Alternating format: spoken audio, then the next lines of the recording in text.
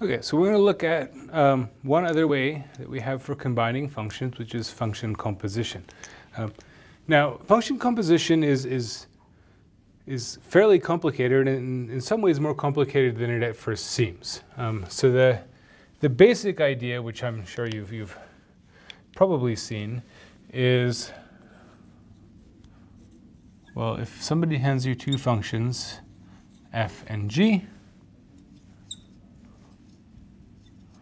you define this new composite function, f o g, whose value at x is given by first evaluating g at x and then taking that output and using it as an input for f. Right?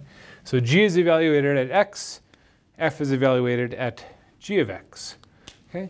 Um, sometimes it helps to sort of think schematically about what's, what's going on when you're doing a function composition.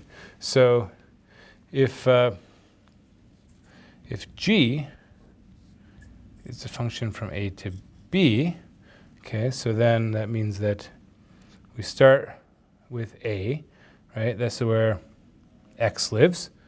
x is in here. And we apply this function g. Now we're over at B, right? That's where g of x lives. Now I want to use g of x as an input for f. That means that f, well, f needs to have B as its domain. Okay? F should go from B to C. So then I can define f here. Okay. And f of g of x will make sense. And so the composition is really the one that kind of takes you from here to there, f composed with g. So you think of it as sort of the direct route that doesn't pass through b. Um, that's the composition. Uh, now, occasionally we can relax things a little bit here. Um, F doesn't necessarily need to be defined on the entire codomain for G, but at minimum it has to be defined on the range, right? So one of the things you need, right, sort of a, a necessary condition here is going to be that the range, um, oops, the range of G has to be a, if you like, a subset of the domain for F, right? So every output for G has to be an allowed input for F. That's what this is saying, right? In order to define the composition. So those are the basic ground rules, right? So as far as when is composition defined, if I wanted to write down the domain, um, so the domain is going to be, so if we're working over the reals, it's going to be all real numbers x that, one, belong to the domain of G, and two, uh, when plugged into G, give me something that belongs to the domain of F. Right? So you kind of have to think carefully about how to form these compositions. Uh, if we want to look at some basic examples, we could look at, say, f of x equals x squared. We could look at g of x equals, oh, let's go with something like an exponential function. Okay, so we can do that. So then it makes sense to ask, well, what is, what is f of g of x? Well, we can kind of think about it two ways. We can think about this as f of g of x, so f of e to the x. So that would be taking e to the x and squaring it. Okay? Or I guess you could also think of it as, you could think of it as, you could kind of, here I've kind of told you ahead of time what g of x is, but not yet what f of x is. We could do it the other way around we could also say that it's g of x squared. But then, of course, once you plug in that g of x is equal to e to the x, um, you're back at the same spot, right? Uh, now, you might do one more step if you remember your laws of exponents. If you square a power, right, a power raised to a power, you multiply the exponents. So you get e to the 2x. Um, now, one of the things that's worth pointing out here is that order of composition is, is important, right? So going going from A to B to C is not the same thing as, as if, if you did F first and then G, you'd be going from B to C and then trying to get to A. Well, I guess you'd have to hope that C and A have something to do with each other, right? Um, now, of course, we're, we're in this situation where A, B, C, all these sets, they're always subsets of the real numbers. So generally we're okay. In this case, both of these functions are defined for every real number. So we don't have to worry about domain, we just have to worry about putting these things together. So in this case, if I'm doing g of f of x, well this time I'm taking g of x, which is e, e to the power f of x, okay? Where f of x is x squared. So what I get is e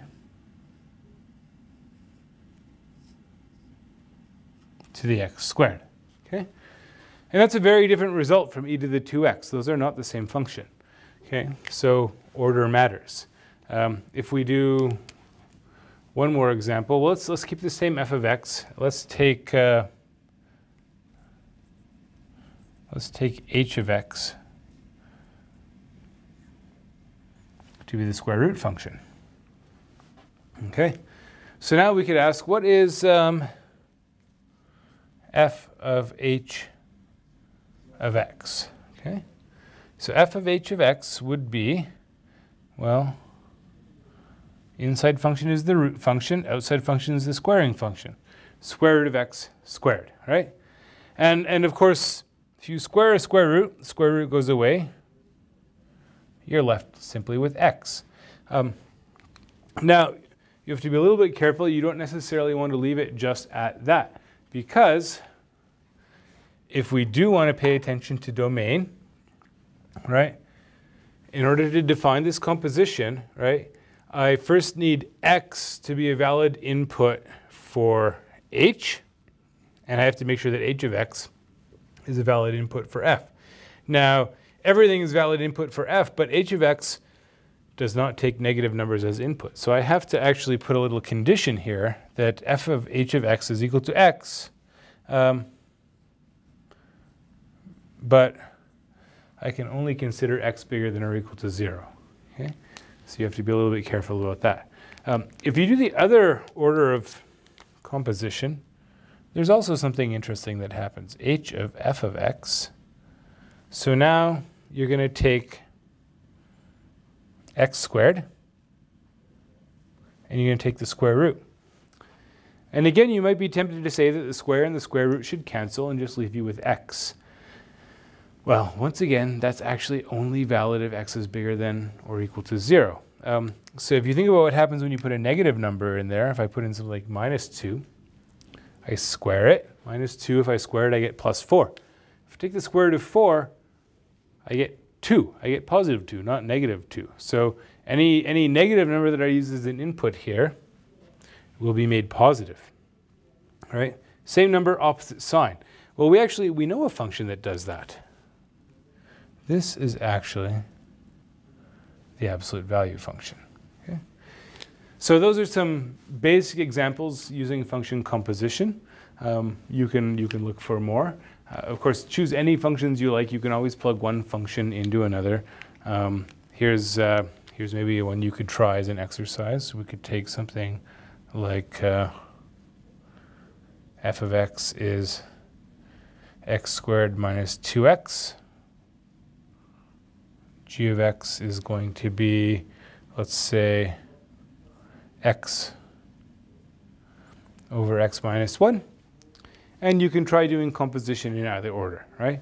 Uh, the important thing to remember here is keep a good handle on function notation. If I'm doing f of g of x, right, that means I take g of x And everywhere I see an x, I plug in g of x. Right? So f of g of x, we could write that as, well, g of x squared minus 2 times g of x. Your next step would be, of course, to plug in g of x. And then if you want, you can simplify. And then you could try the other order if you want. Right? Um, but you got to make sure you slow down, do these things carefully. It's easy to make algebra mistakes if you're, if you're not being careful with these.